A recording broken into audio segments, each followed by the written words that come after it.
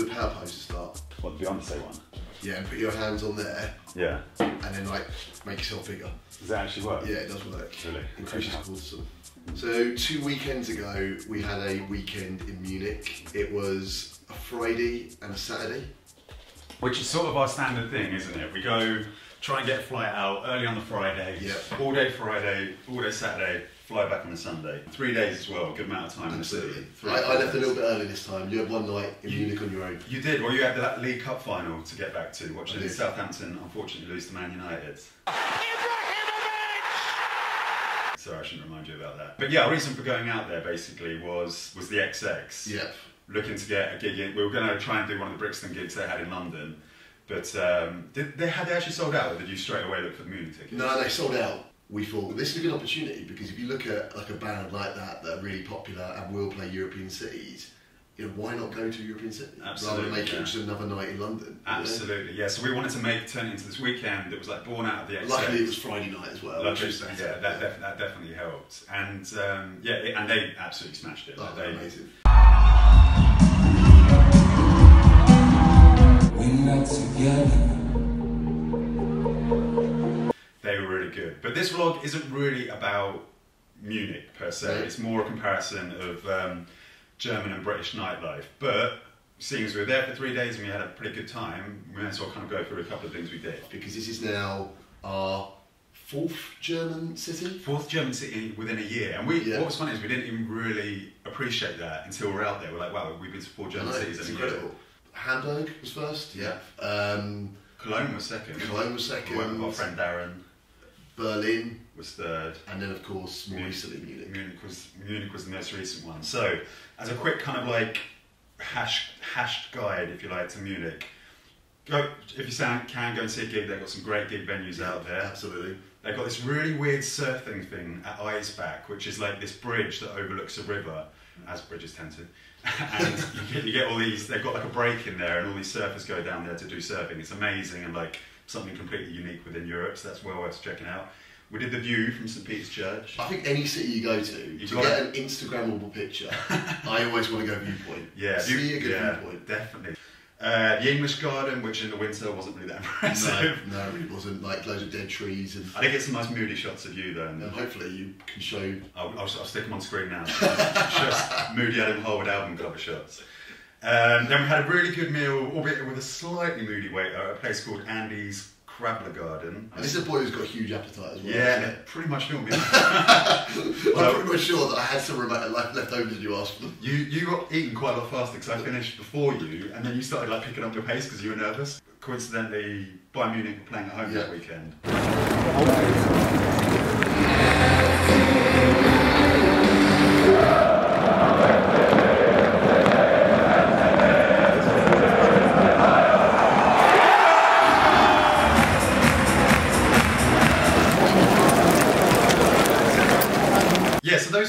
key things we did, and we enjoyed this. Like it was a nice city, it was like an attractive city, um, good food, Yeah. pretty to walk around. But in terms of nightlife, we had it was it wasn't the best, was No, it? no. Like let's be perfectly honest about this. We've had better nights out, and there was a precursor to this that you messaged someone, a girl from Berlin who you know, saying we're going to Munich, and what was the quote she gave you? I can bring it up on my phone right now. Uh, Munich is for sophisticated people who want to be rich, and Berlin is for people who want to live.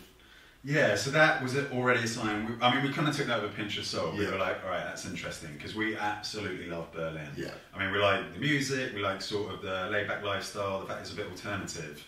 So that's our kind of city. Whereas Bavaria, in addition to that, it's the more traditional German city. Like Bavarian culture is like German, like the definition of German culture: beer halls, big steins of lager, as Adams beautifully decorated. I think that's one of our best backgrounds we've ever done on the chalkboard. I'm proud of that flag. I beg to differ, but I'd say that, um, you know, like you said, it's, it's different. It's just different. And like culturally, I think that I didn't find the atmosphere in bars very social, No. very open.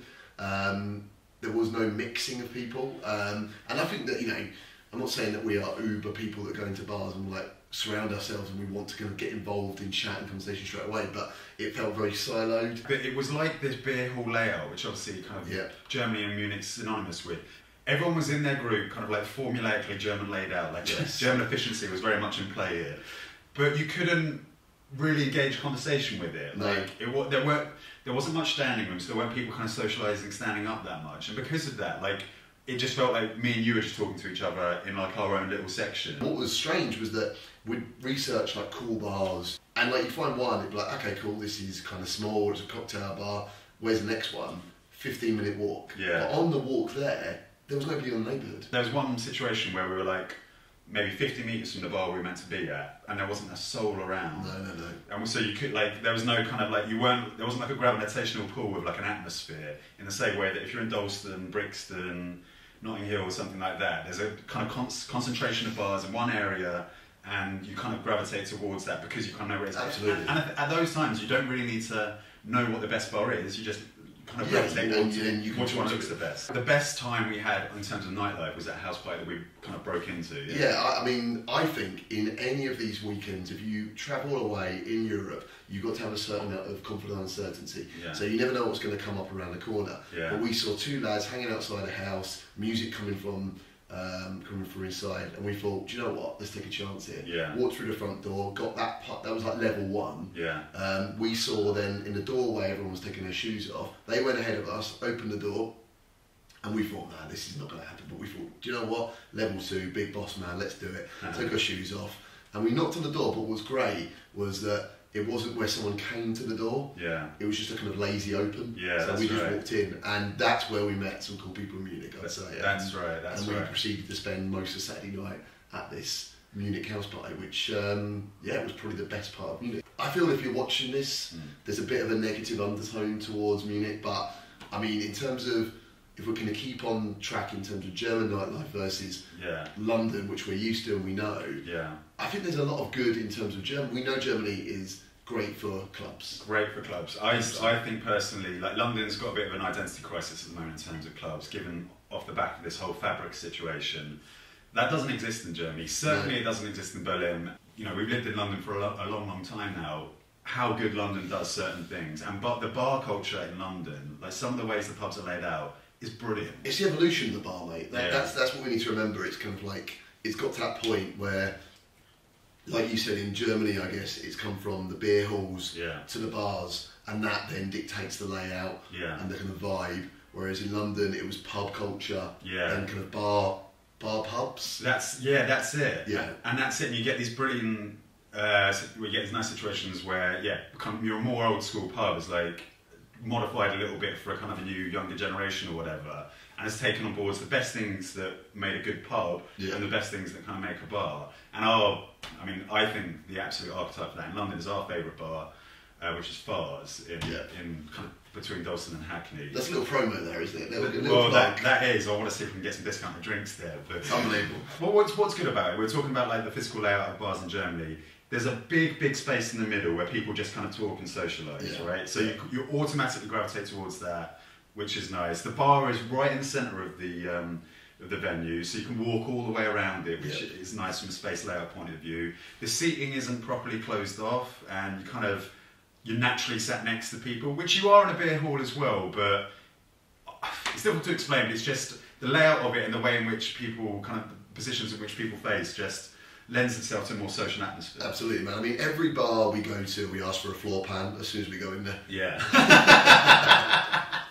no wonder all the bouncers in London hate us. Yeah. So we always ask for a floor plan first. And we're like, spe- we're like specking it out before we go in there and go, no, that should be moved, that table's over there. and also one thing about German nightlife hmm. in total, hmm. and this is again making that comparison towards London Yeah. and UK, is that they continue partying beyond Oh the hours of like Yeah. one or two in the morning. It's like, you know, when you hear the bell go in a pub in London or the lights come on in a club, you know that it's kind of, that's kind of your night dwindled out, it's done. Yeah. In Germany, we went to a restaurant that was kind of a restaurant, sorry, in Berlin, a restaurant and a bar. Yeah. And it was like, okay, cool, what time do you guys finish up? Uh, oh, we're doing karaoke and we're doing, uh, we have some sort of show, we finish up about 7am. Yeah. It's like a restaurant bar. I It was like, I love that. And I think that that's, again, a German mentality, keep going. Like Berghain stays open 48 hours over the course of the weekend. This place you're talking about, White Trash, closes for maybe five hours Yep. on, you know, on a Friday and a Saturday, but it's open the rest of the time.